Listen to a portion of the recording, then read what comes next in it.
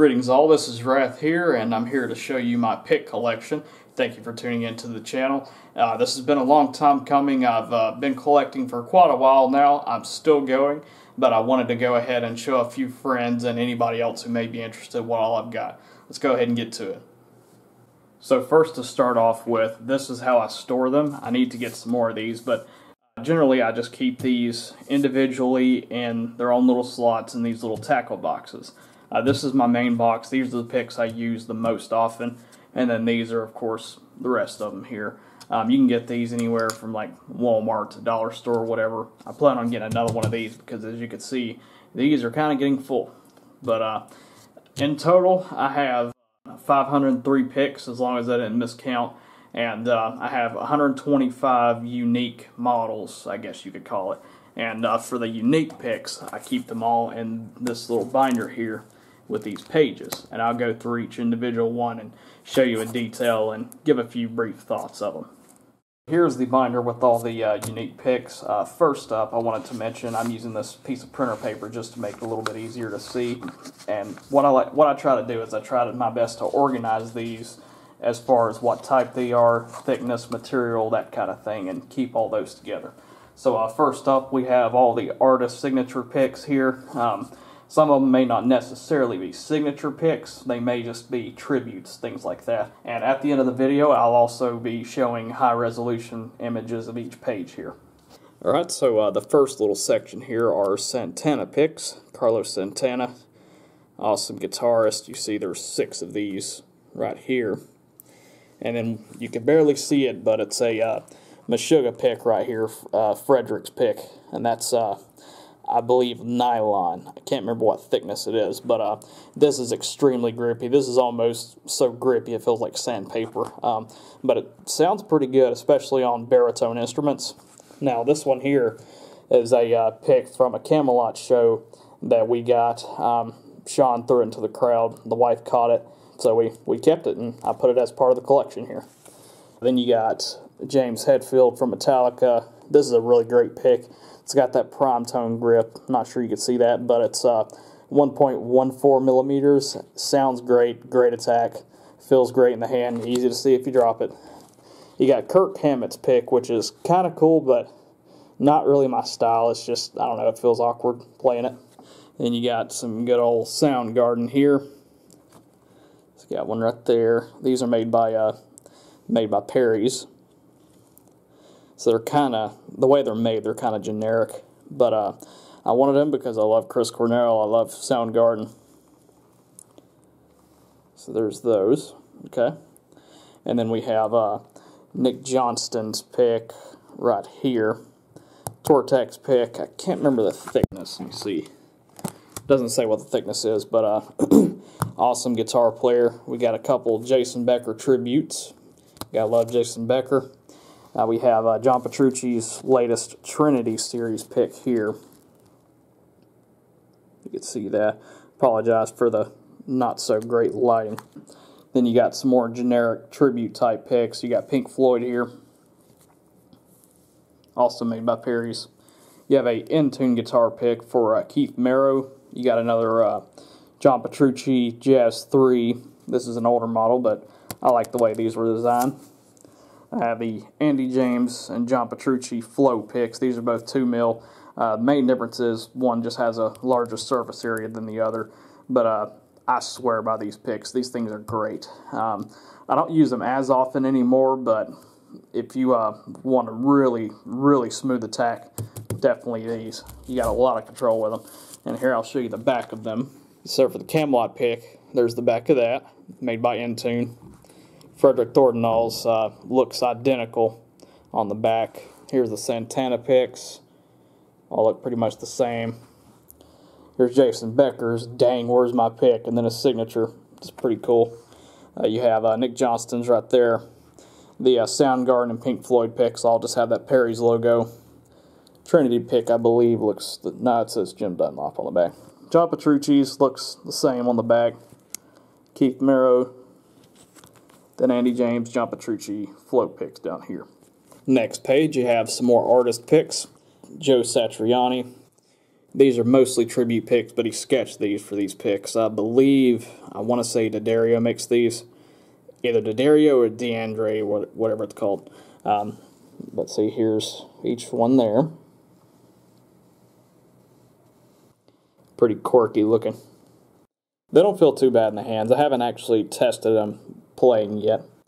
Here's the uh, new Matt Heafy signature Dunlop pick, Max Grip Jazz 3. I believe that's a uh, nylon material, 100. Uh, I'm sorry, uh, 1.38 millimeter. You have a uh, 1.14 Tortex from Ola Englund. And here's the back of those. So the John Petrucci picks, these are the heavy ones and pretty much look the same on the back. Got a signature. Did I say Petrucci? I mean Satriani. Yeah, Joe Satriani. Then we have Matt Heafy's on the back. It's kind of hard to see on camera, but Again, I'll show higher resolution shots when we're done. Ola Englund signature right there. Here are the more mass-produced or non-artist signature type stuff. Quite a variety of things here. Let's go ahead and get through them. Uh, first, we have the Tortex material stuff.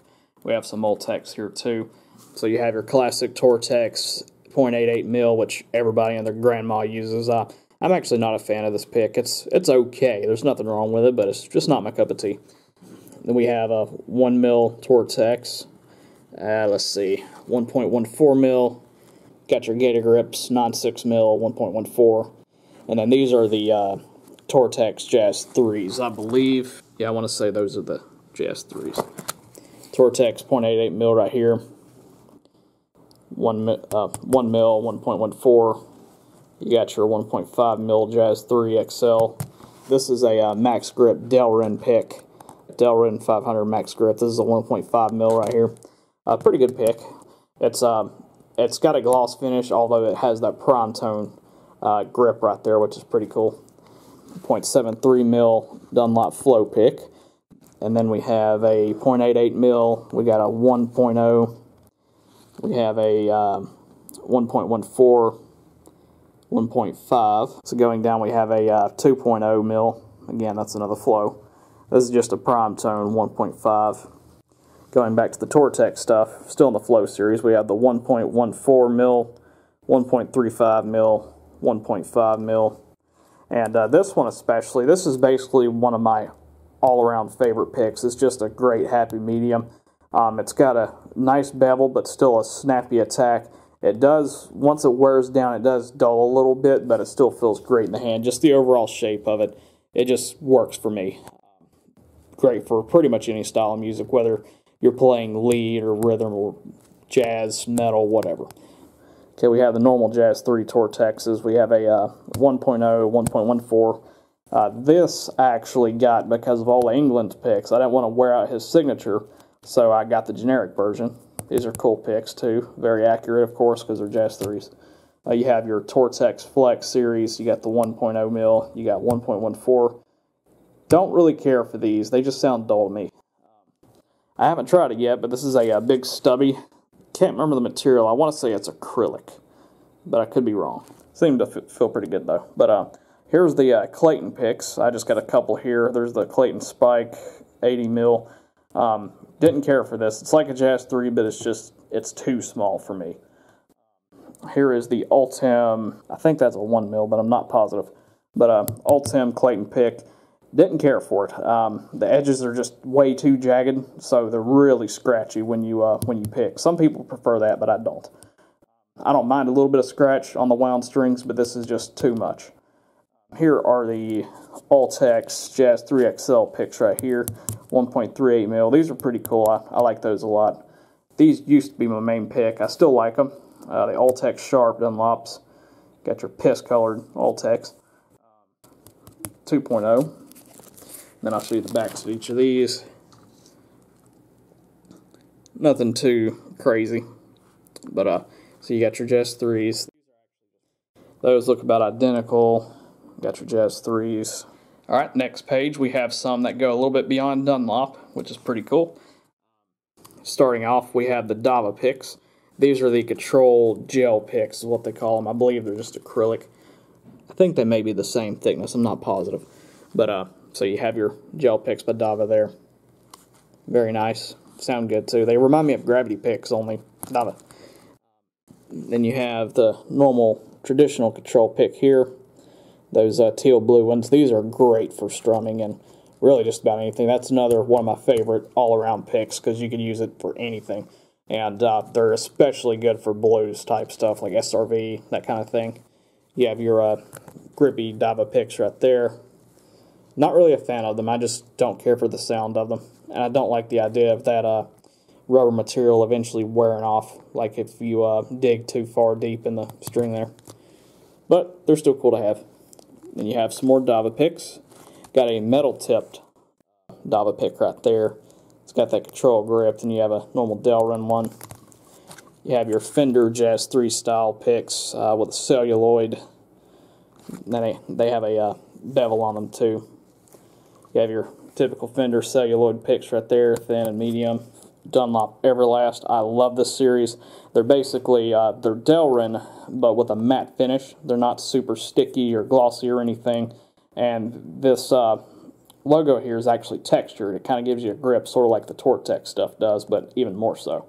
And the way these things are beveled, the way the attack is and the release, whenever you're picking, whether it's strumming or chugging or what have you, these are just excellent. Doesn't matter what thickness you choose. These are just awesome. These are some of my new main flavors of the week, basically, but I've been using them for a few months now. Uh, my uh, favorite ones out of these overall are probably these two, the uh, the 1.14 and the uh, 1.5, especially the 1.5 if we're playing something fast and accurate. These are the new overpriced Prodigy Ernie Ball picks. This is a uh, 1.5 mil. I'm not a fan of these. Uh, the idea is cool, but at least this particular one, I just I couldn't do it. I can't pick worth a damn with it. We have some more Delrin picks from this company called Hot Grips. These remind me of those, uh, what are they called, Duragrip picks by, uh, I believe, Planet Waves. Similar type thing here. These are really cool. I, I like them. They sound decent. Feel good in the hand. This is a 3D printed pick my brother gave me. It's a dick pick, as you can see. These are the uh, Snarling Dogs brain picks. This is nylon uh, 1.14 mil. These are also excellent for strumming. Anything that's acoustic or, uh, you know, just chord heavy, they're great. Uh, leads are okay too, you know, riffing stuff like with rocker, okay too, but these really excel the way they, uh, the way they re release. These really excel with anything chord related. Have some more Delrin right here. These are the uh, traditional ones from Dunlop. You got 1.14, 1.5, both the glossy finish. I got these because I liked those Jason Becker picks, but I didn't want to wreck those, so I got these instead, you know, if I ever decide to play with them. Uh, you have your uh, Dunlop Nylon Max Grip 1.14. As you can see, you're seeing a pattern here. I love that gauge. It's just a good happy medium. Another Max Grip right here. I want to say, let's see, that's a Jazz 3. I want to say that's a nylon and 1.38 mil. Same thing with this, just a different color. And then the back of this they all look about identical. The Fender logo is missing on that side. Let's see. And then for the Hot Grips picks, you got a uh, textured back on that side. It's a little bit different on this side, so it's kind of cool. Last page, we're getting to a little bit of more unique stuff. Some Swiss picks here, gravity picks, and we'll go ahead and get started. So you have uh, the acrylic gravity picks. These always sound and play great. Uh, you have a Jazz 3 XL style right here. 003. Uh, you have a Sunrise 1.5. I love that pick. That's also one of my main main favorites there. And it's got that same shape as like one of the flow picks. So I really love the feel of it in my hand. You have a, uh, a shiny beveled uh, classic Big Mini 2 mil. As you can see, it's a little bit smaller. Still feels good. I got a classic standard. This is with a uh, matte bevel right there. You have a V pick these are cool. I think this is a 3 mil if I'm not mistaken. 3 or 3.5, something like that. Then you have uh, the Swiss picks. These feel awesome. They sound great too. And the owner, I think his name is Russell. Correct me if I'm wrong, but really cool guy, great customer service, and you know I'll always support these guys. They're just awesome. But uh, so here's the Rusty Cooley signatures. These are like the atomic cheddar ones. This is a uh, 0.9 mil Jazz 3 standard shape, and this is a uh, 1.10 mil or 1.1 mil, sorry, standard shape. This is a atomic cheddar sharp. As you can see, I've worn it out just a little bit. sharp cheddar right here. That's a 1.10 mil.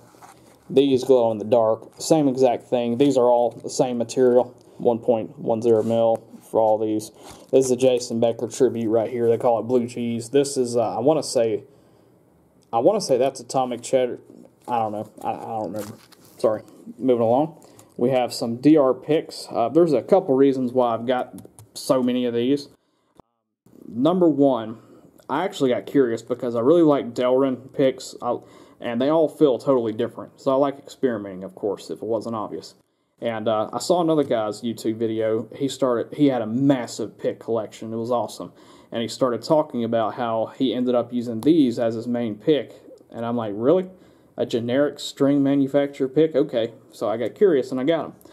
And the first one I tried was their uh, heavier one. It's a one mil, not too heavy, but you know, good happy medium and it felt great. It sounded great. Loved them. And the other reason is I love DR strings to begin with anyway. That's basically my main string brand. So I decided to go ahead and get the rest. Um, another reason too is I could not find these anywhere except for stringsandbeyond.com. So I figured, hell, if they quit making them, I've got a stockpile.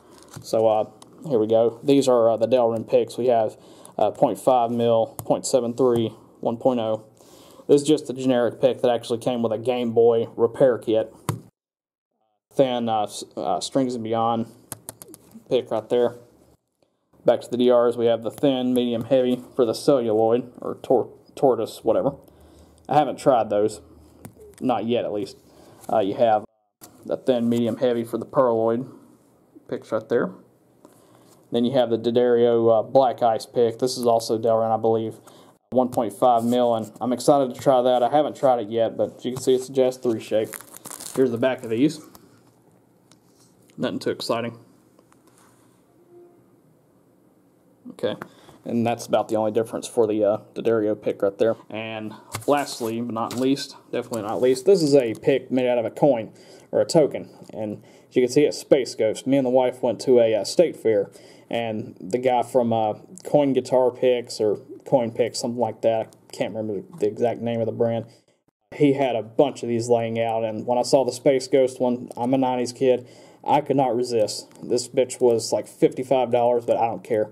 I had to have it, and uh, believe it or not, even though it's a coin pick, it sounds amazing. I don't use it very often only because the thing's expensive. I don't want to wear out the uh, finish on this, so I just keep it right here as one of my multiple prize possessions there. And uh, here's the back. I do want to eventually get another coin pick just to actually, you know, to actually play with um, because they sound very bright and it's, it's just a cool, uh, cool difference that it makes. But um, they sound very bright. I was going to get some more, but they are not cheap. I was actually going to get two or three, but the guy quoted me like $130, and I'm not spending that much on picks. But anyway, hope you enjoyed this, and now here are the high-res shots.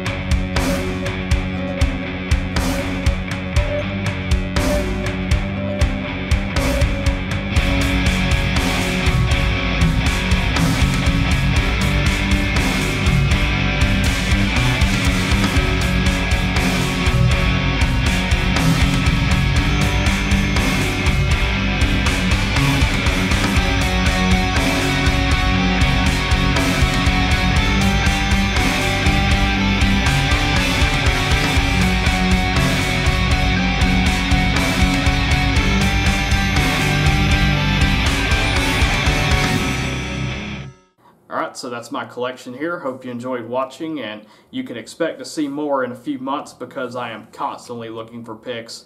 I just love collecting them. It's a fun hobby. It's not too expensive most of the time, and there's always something unique about every single one of them. Plus, I'm anal retentive when it comes to my guitar sound, so I just love experimenting with them. Different thicknesses, everything like that. Um, so feel free to leave a comment below, and until next time, rock on.